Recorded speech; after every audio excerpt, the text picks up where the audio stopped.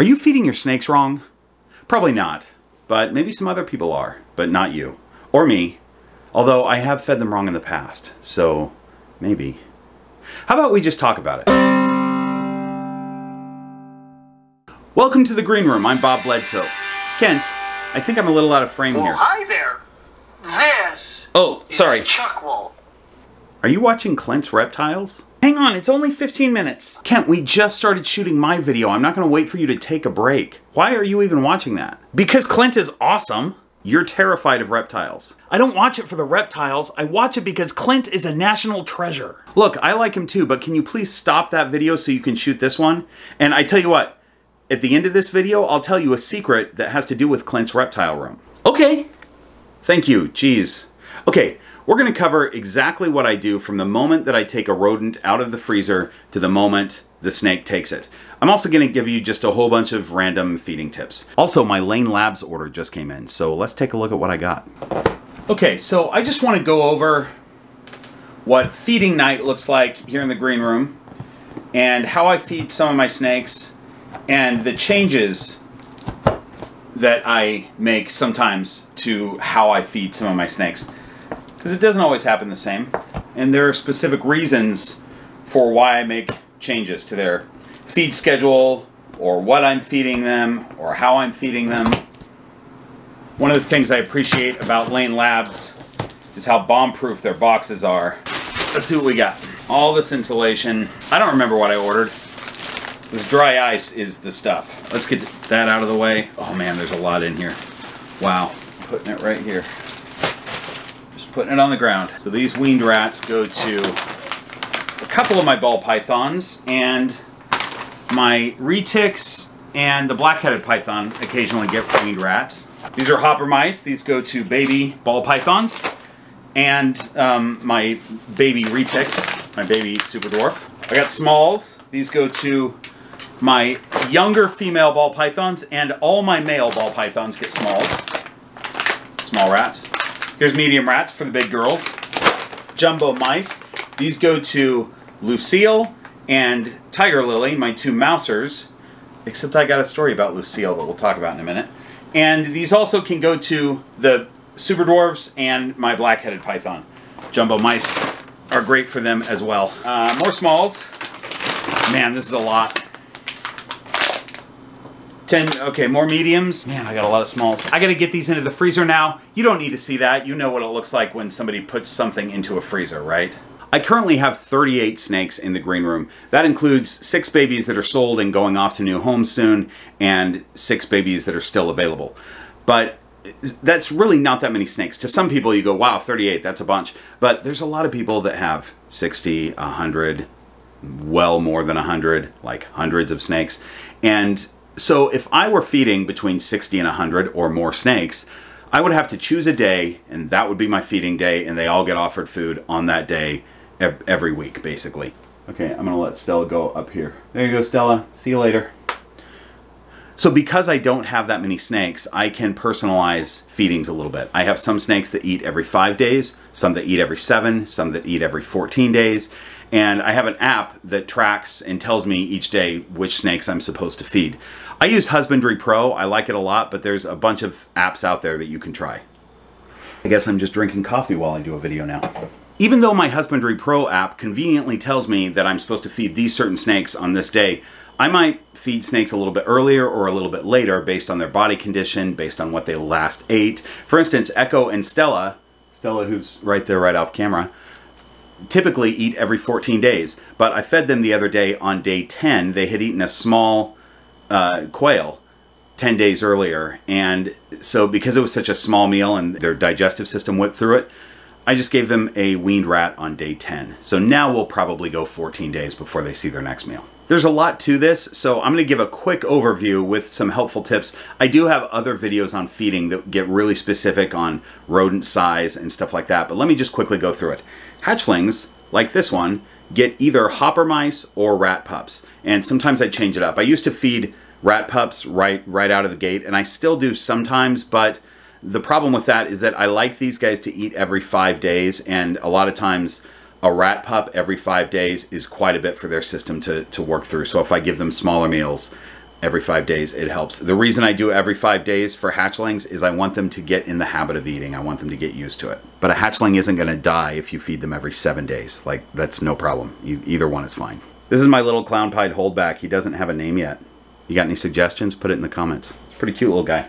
Here's a helpful tip that happened with a couple of my hatchlings. This is a tip that works with any age snake, by the way. But, you know, a lot of times we see, especially bigger breeders on videos, they offer the snake a meal, and if it doesn't take it, they just go, okay, I'll offer it next week. Which you can do, that's okay for the snake. But what I do when a snake doesn't take the food right away is I shut the enclosure, feed a few other snakes, give that snake a chance to think about it for a little bit, and then I offer again. Sometimes it just takes them waking up a little bit and moving around and deciding whether they're hungry or not. So, you know, just wait a little bit and offer again. Don't wait hours, but, you know, 10 minutes or something. This is Dash. He's a ball python that gets weaned rats right now. Uh, the next size up would be smalls. But I talk about this in other videos where you want to kind of eyeball the size of the rat, and this is the thickest part of Dash's body right here, and I want a rodent that's about this thick.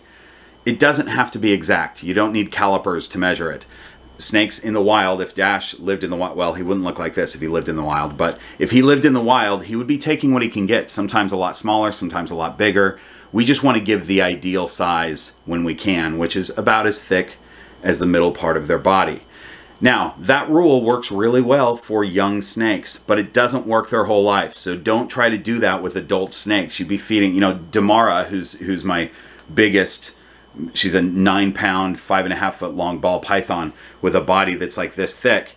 If I found a rodent that was this thick, that would be way too big for Damara to eat. She gets one medium rat every couple weeks. Uh, same with same with my males.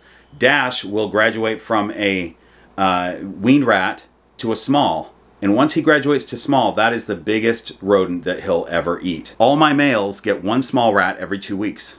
By the way, Dash and his sister Willow still get fed once a week, but once I move them to smalls, I'll probably cut that back to every 10 days, and then as they grow a little bit more, I'll cut it back to every 14 days. Younger ball pythons have faster metabolisms, so you can feed them more often, and it works well for them. But as they get bigger, and especially as they get to adults, every 10 to 14 days is a better feed schedule unless we're talking about breeding females and that's different i don't want to get into that but you you sort of go back and forth between every 7 and every 14 days depending on what time of year it is but we're not talking about breeders we're just talking about keeping snakes in general sometimes you might change up what's on the schedule as far as when you're feeding the snake but also what you're feeding the snake lucille my notorious mouser that i've talked about in many videos only eats mice and I have to feed her multiple mice every week. I do feed her weekly because she's taking smaller meals. And the other day I just randomly decided to just show her a pretty large medium rat just to see what her reaction would be. And I put it in front of her and she struck and wrapped immediately and ate that. That was pretty shocking to me. I did not expect that. I don't usually offer her rats. Does this mean that she's on rats now and she would have taken a rat weeks ago had I offered it? Maybe. I don't know. But she took that one, so I'm happy about that. One of my Patreon supporters, Lashonda, was asking me why sometimes your snake will switch from rats to mice or mice to rats, but usually they're they're they'll start refusing rats and then they'll take mice. And I don't know why that is, but it happens sometimes. Tiger Lily did that. She ate rats for a very long time and then all of a sudden she stopped eating rats. But if I fed her a mouse, she would take a mouse. So right now she's on mice and I'm assuming at some point she'll switch back to rats. I don't know why they do it, but they do that sometimes. Okay, I think we're ready to go through my thawing, heating, and feeding process. Let me grab my coffee and we'll cut to this real quick. Let's take a look at the Patreon boards real quick. These are the people that support the channel and uh, they're in a really cool community of reptile keepers. A lot of them are over on my Discord also. You can join the Discord whether you're on Patreon or not, but there are secret channels in the Green Room Pythons Discord that allow just the Patreon members to chat and to play Dungeons and Dragons and do all kinds of other stuff. Uh, they have all sorts of other perks as well, but uh, the point here is that they're supporting the channel and keeping it going and allowing me to do some extra stuff that I would not be able to do if it weren't for them. Some other folks that support the channel are my channel sponsors, Black Box Cages, Layne Labs, and Gray Family Snakes. I really appreciate all these people and these companies. There are many ways to do this. There's many ways to heat up a frozen rodent. The microwave is not one of them, by the way, unless you want a carcass to explode in your microwave. what a hilarious trick. Anyway, if you do things differently than me, that's probably fine. That doesn't necessarily mean that you're doing it wrong, unless you think you're doing it wrong. Then maybe try it like I do. I don't know. This is just giving you some ideas for those of you that are new to snakes or those of you who have been feeding snakes for a while and maybe think you might want to tweak the way you do it. The first thing I do, obviously, is take the frozen rodents out of the freezer. Today is not a very big feed day. The only snakes that I'm feeding are the baby super dwarf retic and Anya, my axanthic subadult ball python that I got from Gray Family Snakes. I use water to thaw my rodents, and I don't like them dripping wet just because it's that's gross to me. But uh, it actually gives them some extra water, so if you do it that way, that's great. I just don't like it so I put them in Ziploc bags. I thaw the rodent in cold water and I heat the rodent in hot water. Why don't I just save some time and thaw the rodent in really hot water so it thaws fast? This is pretty gross, but it needs to be said, thawing in hot water compromises the integrity of the carcass. And what that means is when the snake strikes, it will open up the rodent. You do not want that to happen. The only thing grosser than that is if you put one in the microwave. So cold water to thaw. Once your rodent is completely thawed, then you can put it in hot water and it'll do just fine. Obviously, the size of your prey is going to determine how long it's going to take to thaw out or heat up, and you'll just have to sort of get a sense of what that is by doing it. But maybe, you know, for a, for a smaller prey item, uh, 15 or 20 minutes to thaw for maybe a small mouse, like a, a, um, a hopper mouse or something like that. And then for a bigger prey item, it might take an hour to thaw and then and then another 20 to 30 minutes to heat up something like that. But you can figure that out yourself. You can use a heat gun a, temperature gun i mean and uh, figure out what temp your rodent is at once you pull it out of the hot water I use target training as a food cue for my super dwarf reticulated pythons. They are highly food motivated and I want my retics to know that the only time they're getting fed is when they see this blue target. Now this little boy is target trained. He knows exactly what a target means, but he sometimes gets so excited that he strikes the target. And that's just part of target training. I wait for him to let go, realize it's not food, and then as soon as he does the action that I want him to do, which is to go up to the target and touch it with his nose or his tongue, then I offer him the, the food, which is what happened here. A lot of people will take the tail of the rodent and jiggle it a little bit once the snake has wrapped, and that just allows the snake to wrap tighter and sort of engage more with the prey if they think it's still alive. I don't usually do that, but sometimes I do. It's probably one of those things that's unnecessary for most snakes, but might be an important thing for snakes that don't engage very well with their food, that might just drop it and leave or whatever. Layne Labs offers a size of rodent called small medium, and it's in between a small and a medium. And Anya is getting her first small medium meal today. She is uh, getting very close to upgrading to mediums and getting very close to a tub upgrade as well. She's sleeping right now because I'm feeding these two snakes in the middle of the day. So what I want to do is close her tub and heat the head of the rodent a little bit with a hair dryer. The rodent's already heated up, but really this hair dryer trick is just to get a little bit of the smell into her tub so that she'll come out. With Anya, it doesn't matter if she was sleeping or what time of day it is or whatever. If she is offered a rat, she's going to take it immediately, always. Now that I've said that on a video, I've probably jinxed myself and she'll probably stop eating, but uh, knock on wood. Where's wood? There, my superstitious magic just worked and so she'll be fine. Hey, where's my snake? Stella, jeez, what are you doing? Get out of there. You're not supposed to be in here, crazy girl. And you gotta come back with me. Notice that when I offer the snake a mouse or a rat, I'm holding it by either the top of the body or the scruff of the neck. I'm not holding it by the tail and dangling it above the snake's head. That's never a scenario when a snake eats a rodent, you know, in nature. I mean, we're not doing a lot of things that we do in captivity, we don't do the same as in nature, but it's really weird to have the, I think, to have the rat just dangling above the snake's head. There's a lot of snakes that, that will take a meal like that, but I think for snakes that are either finicky eaters or they're a little bit nervous, that might freak them out a little bit. So I always just offer straight on, like as though they saw the rat coming, you know, walking up to them. Snakes like Anya or this little baby retic will grab a meal as soon as they see it. There are some snakes though that need a little dance. That you got to give some movement to the rodent, and and sometimes you got to do it certain ways. You sort of have to just figure that out from snake to snake. But most of my snakes will just grab the rodent as soon as they see it. There are a few though where I have to do a silly marionette puppet show. Here's a common situation that somebody was asking about in one of the Facebook groups. I usually just lurk in those groups. I don't typically answer, like spend time answering those things. And the reason is that I'll read some of the answers, and usually somebody has given the right answer, and there's no reason for me to repeat an answer if it's already been given. But in this case, by the time I read the question, there were about 15 answers, and none of them uh, solved the problem, in, in my opinion, or were appropriate to the to the problem, I guess. So I did answer that one. The issue was actually something that, that Max. Hey Max, come here.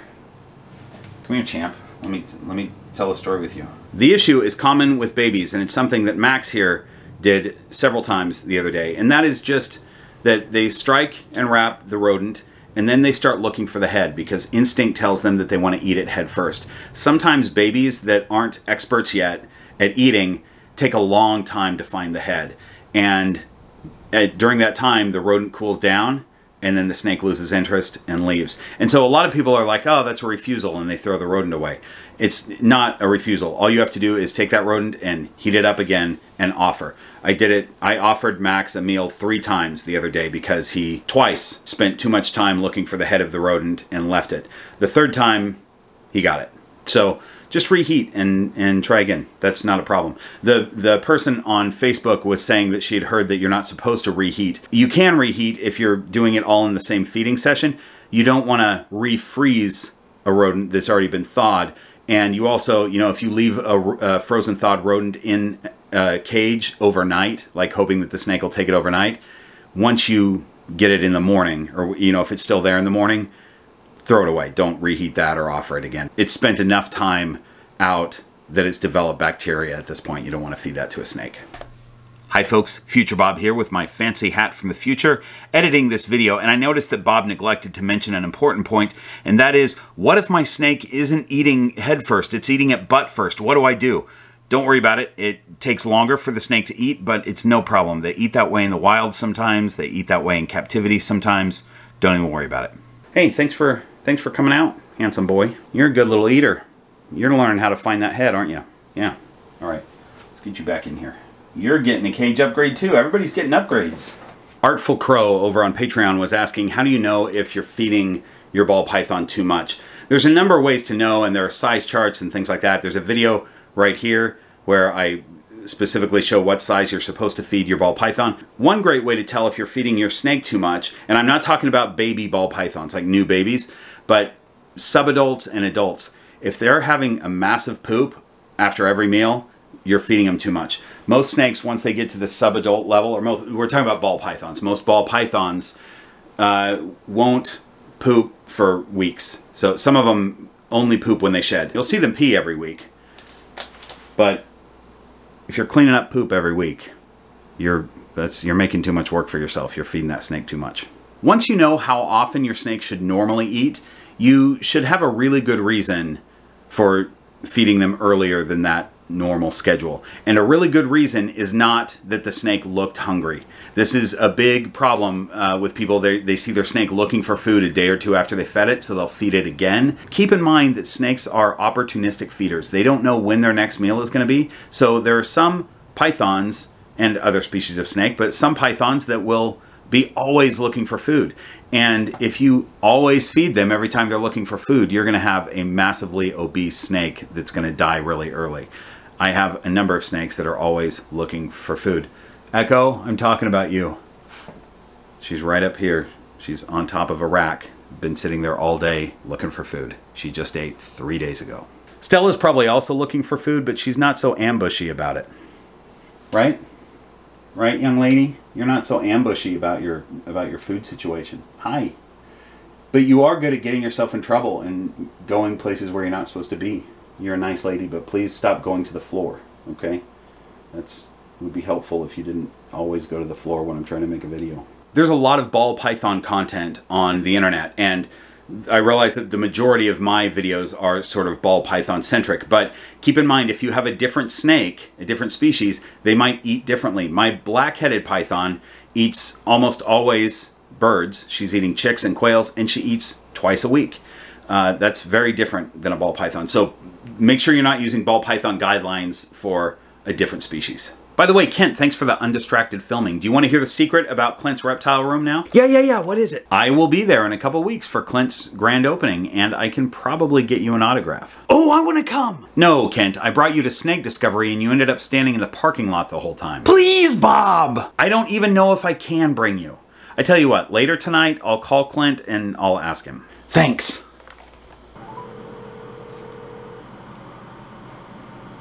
Bob? Clint, it's it's actually Future Bob. Future Bob? Yes. I like Future Bob. Oh, thanks. What, what, what hat are you wearing? Uh, I'm wearing a brown hat with a sturdy brim. It's one of my favorites. Sounds dapper. Yes, it is dapper, actually. Thank you. Uh, hey, I have a question for you. Um, Yeah. And it could be a little bit awkward. Uh, you know my brother Kent? Yes? He's a big fan of yours, as it turns out. Kent? Yes. Your brother Kent is a big fan of Clint's reptiles. He's, well, he's a big fan of yours. I don't know that he's a fan of the reptiles because, as you know, he's terrified of reptiles. Yeah, he didn't even come in at Snake Discovery. That's right. That's right. He stood outside in in the parking lot, and uh, so this is my question. He wants to come with me to your grand opening, but my feeling is he's just going to stand outside, and it's going to be awkward because he's terrified of snakes. Are you okay with him coming? Well, uh, I would love to have him come. Um, but do you think there's any way we could get him into the building? I I doubt it. Because I've had a lot of people, people come all the time that are afraid of snakes. And a lot of why we built it the way that it is is so that it feels comfortable. People can come in and not focus so much on the snakes and gradually warm up to their presence. And, and it's amazing how many people have gotten over their fear. I don't think you'll be able to get Kent to warm up to snakes. Can I ask you a question about Kent? Yes. Does Kent acknowledge that he's afraid of snakes? Uh, yes. Yeah. Because the, the only people I ever have come in that leave still scared of snakes are big tough guys that are like, I'm not scared, I'm just not interested. And they just refuse to do anything. But if I can get somebody that acknowledges that they're afraid, I can always get them to touch a snake, hold a snake, and they leave like, what snake should I get as a pet? So, Clint, is it your belief that you would be able to get Kent to hold a snake? Well, yeah, as long as he's not one of these big tough guys. He's definitely not a big tough guy. He's like a gentle soul. He, he is a gentle Uh, soul, Yeah. I think I think I think I can do it. You know what? I will bet you a hundred dollars that you won't be able to get Kent to hold a snake. I feel bad taking your money. I, I don't think you'd be taking my money. Well, uh, I, you're on. All right, it's a bet. I will I will bring Kent with me. That's nice. It can offset some of our costs. nice. I'll, I'll see you in a couple weeks. See you then. I'm really excited. Say hi to Kent for me. I will. I will. Okay. Bye. Goodbye, future Bob. So let me know in the comments. Have you been feeding your snakes wrong or have you just been feeding your snakes differently than I do it? Thanks for watching. I'll see you next week.